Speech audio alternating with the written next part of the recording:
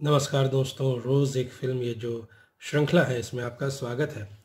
आज हम बात करेंगे साल 2000 में रिलीज़ हुई मैंडरीन भाषा की film crouching tiger, hidden dragon की। इस जोनरा को चाइनीज़ फिक्शन में ओशिया यानी मार्शल हीरोज़ की गाथा कहा जाता है।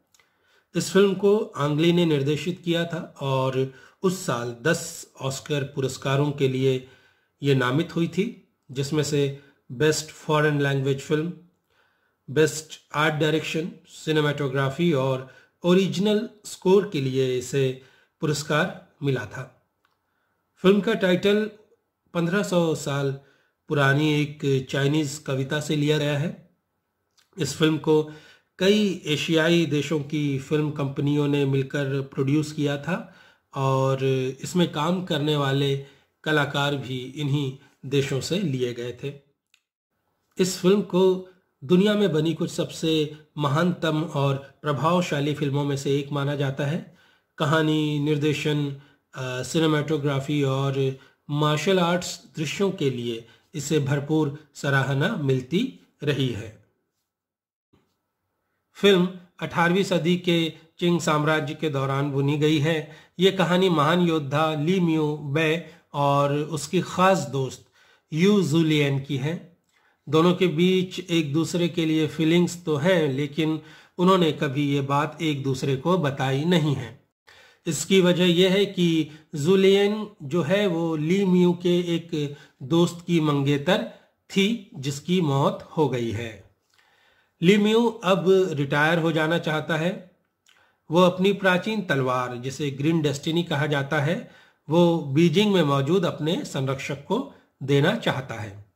इसके लिए वो जूलियन को तलवार देकर बीजिंग जाने के लिए कहता है।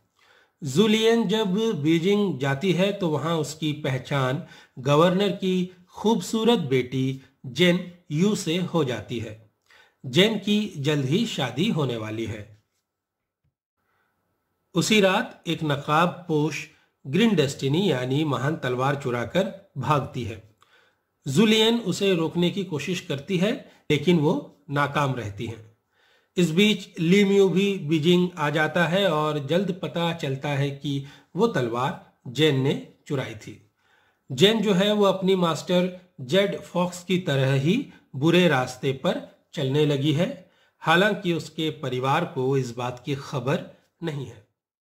लीम्यू अपनी वो तलवार वापस चाहता है क्योंकि उसे अब जेड फॉक्स को खत्म कर अपना बदला लेना है। दरअसल, जेड फॉक्स एक खतरनाक महिला योद्धा है जिसने ली म्यू के गुरु की हत्या कर दी थी।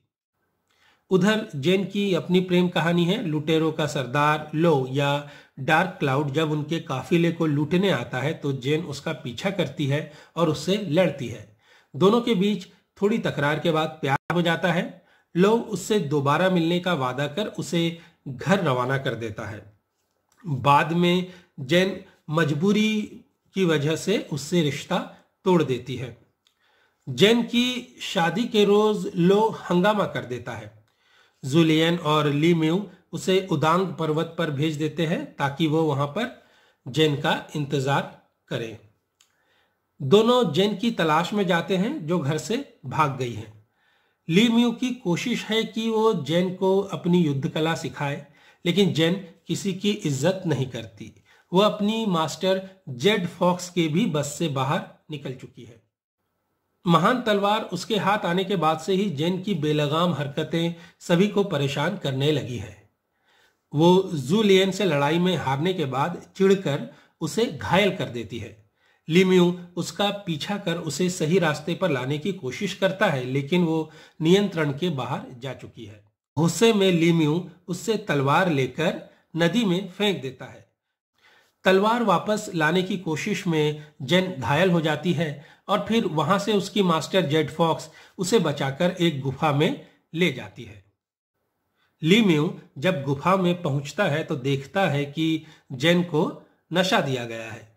उसे ढूंढते ढूंढते जूलियन भी वहाँ आ जाती हैं। इस बीच जेड फॉक्स उन पर हमला कर देती है।